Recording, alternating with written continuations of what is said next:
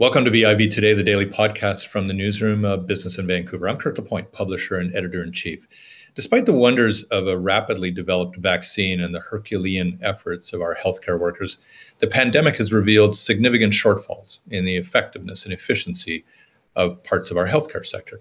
One shortfall is the sheer shortage of labor, how it is arrayed, how its dearth stands to even harm patients, citizens, and societies.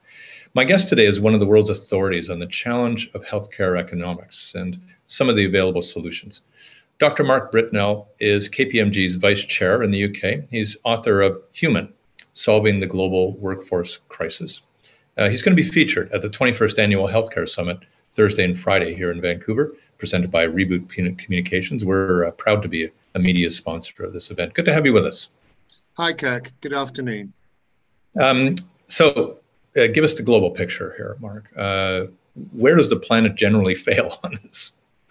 Well, you're certainly on point with your introduction, Kirk. We know, for example, from the United Nations that by 2030, uh, the world will be short of 18 million healthcare workers, which is hmm. roughly 20% of the total capacity to care. So, just to give you some examples, in my own country, the United Kingdom, uh, we have a vacancy rate of 10% of, of, all posts.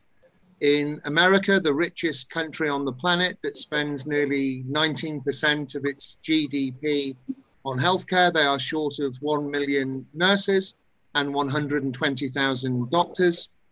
In China, when they relaxed the one child policy, they forgot to tell the obstetricians. They're now short of 120,000 obstetricians by 2023. In India, where Prime Minister Modi, for example, is launching, as he calls it, the largest migration towards universal healthcare in the history of humanity. He's doing so being short of 4 million doctors and nurses. And even in Japan, a country that prior to COVID I would visit twice a year, has trebled the number of nurses over the last 13 years it is still predicted to be short of 250,000 nurses in Japan by 2025. And we know, of course, the vacancy rates now, the staff shortages in many provinces in Canada is starting to bite. Is there is there any kind of uh, you know Lithuania or Liechtenstein uh, or some little place on the on the planet that actually does this well? No, um, you kindly referred. Sadly, no but you kindly referred to my book, Human Solving the Global Workforce Crisis, that's now um, sold in uh, dozens and dozens of countries worldwide. Just last year, published in uh, Mandarin for the Chinese market as well. Uh, I identified 10 high impact solutions that, if coordinated and orchestrated, uh, can make a difference to this 18 million shortage. Um, they're, they're um, being more optimistic for a second uh, all solutions uh, do exist, but they're just hmm. found mm. in different health systems in different countries.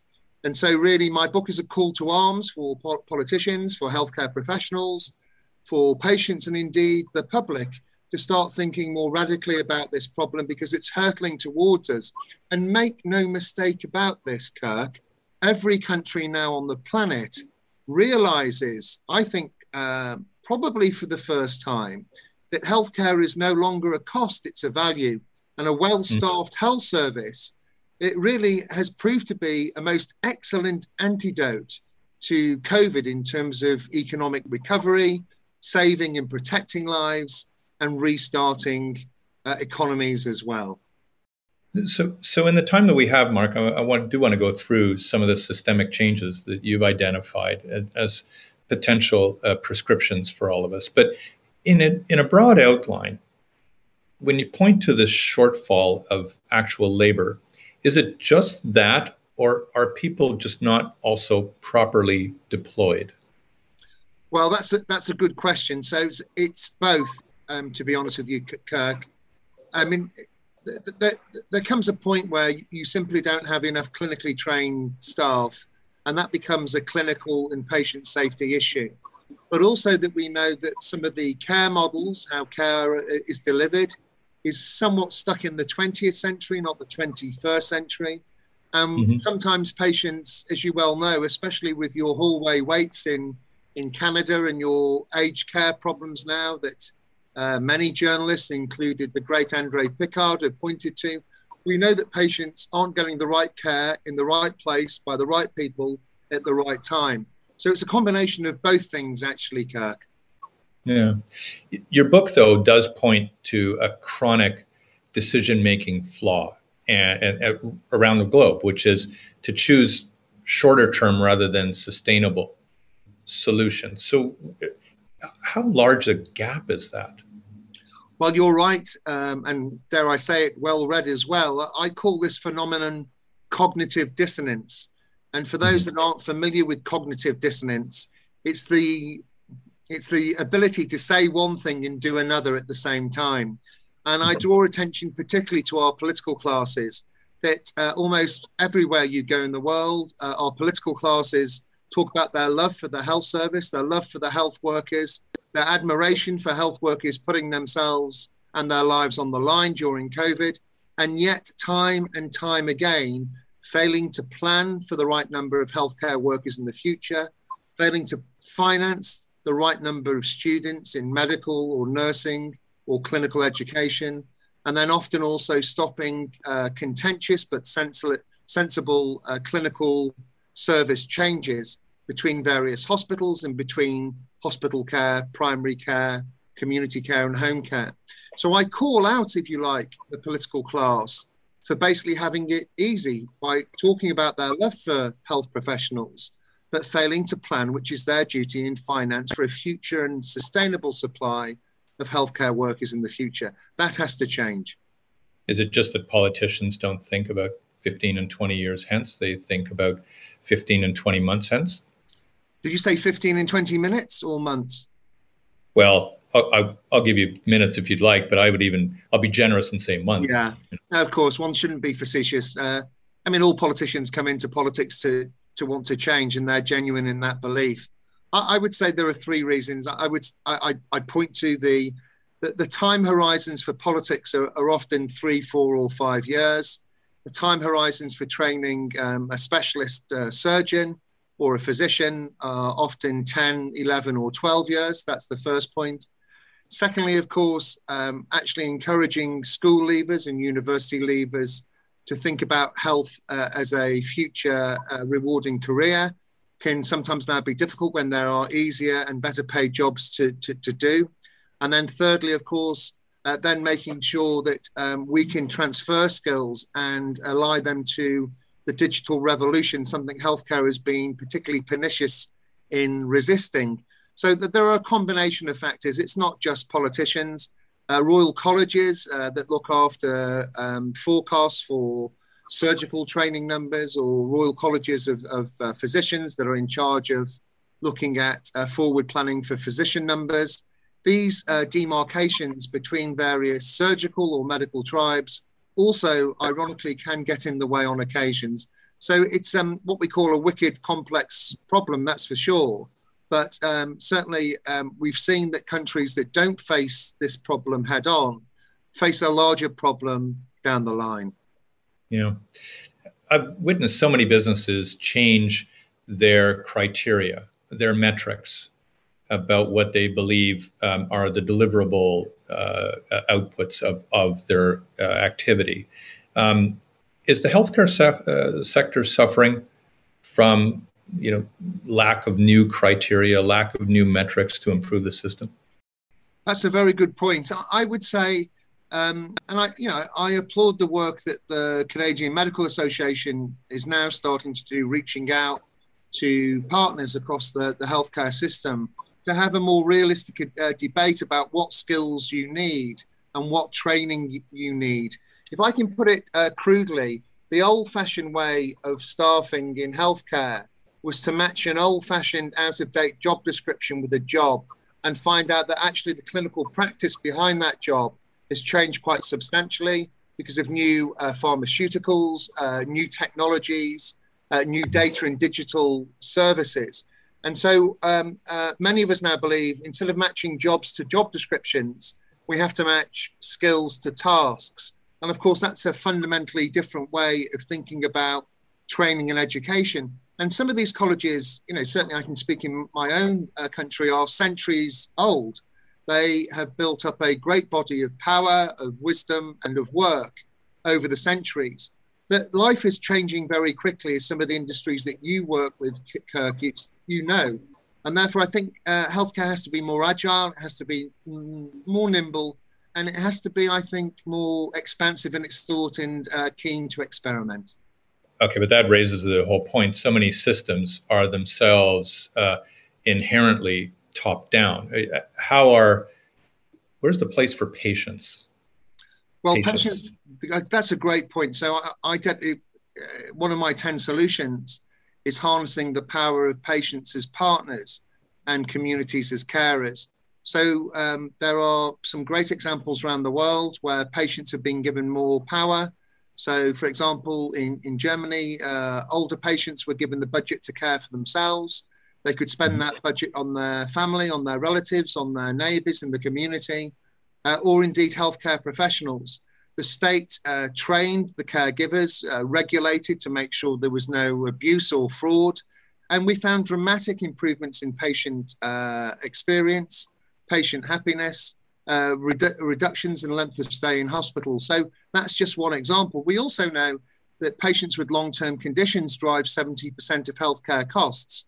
We know right. that uh, the more they're en- enabled uh, and empowered, through coaching and mentoring of healthcare staff, supported by clever diagnostics and wearables, uh, such as Apple Watches and others, sensors, monitors, that they can take control of their care in a much more proactive, sustainable, and positive way.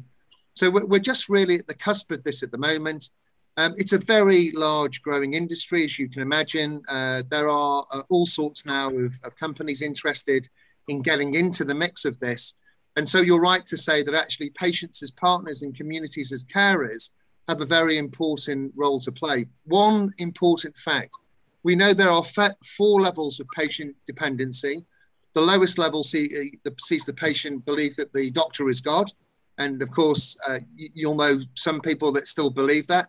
Up to level four, where the where the doctor is um, not a god but a guide, uh, and that level of uh, empowerment counterintuitively counterintuitively, as patients uh, become more empowered, their consumption of care reduces by between 18 and 21 percentage points. So quite a hmm. substantial mm. prize to be gained there, I think. Yeah, where, where does Dr. Dr. Google fit in all of this, Mark? Well, of course, uh, he's now or she's now ubiquitous. Um, and of course, that presents many challenges for today's professions. Uh, they spend some time correcting uh, the, the, the, Google searches that patients have. But I think they're also realistic to, enough to realize now that patients will, um, if kept waiting, um, want mm-hmm. to uh, research their own uh, best practice. And we've seen now a plethora of uh, GP at hand, uh, doctors uh, on demand, digital doctors providing those services. So, although some healthcare professionals quite rightly will question the validity of the sources of that data, they should never question the validity of the attempts of patients to seek higher quality healthcare information. And that, frankly, means switching channels and having channels open uh, longer and perhaps being more personal to the patients making those requests. Yeah. So many of the systems in society are undergoing, as you know, a, a real reckoning, a reckoning around uh, equity, uh, opportunity. Um, and it can sometimes be along gender, along race, along a number of other factors and all this. How much inequity of uh, is is there in our medical system? Do you think? Well, it's a, it's a very big issue. As you know, uh, recently you've had your own issues in in Canada with your uh, uh, indigenous communities. Those factors have been starkly exposed across the world in terms of the inequalities that um, exist between economic groups, uh, gender, and uh, racial groups, just to name but 3 mm-hmm. And I, I, certainly, from what I see, I, have worked in 80 countries over the last 12 or 13 years. I, I don't believe any government now can ignore these issues. In my own country, in the United Kingdom, our Prime Minister now talks about levelling up as being a central concern of the government. I, know wherever you go, uh, earlier this morning, uh, I was talking from Vancouver to colleagues in India, in Singapore, in Italy, in the United Kingdom, uh, in Toronto, in Halifax, in Sydney, Uh, and uh, this issue is is uh, a pressing concern now for all governments, because um, if you like, it's issues that have been swept under the carpet for decades, that have been known about in civilized society, are no longer civilized at all. And so, hmm. whether it's a reckoning the like of which you're having in Canada at the moment, or indeed the conversations that are taking place in New Zealand about Maori people, or Australia about uh, Aboriginal people, for example, um, I, I, think now uh, governments have nowhere to turn. They have to uh, tackle these problems transparently and in a transformational fashion. Hmm. Where, where's the um, where's the room for emotional intelligence, for empathy, for personal intimacy with the employer? Well, that, let's start start about the the uh, emotional uh, empathy with the patient.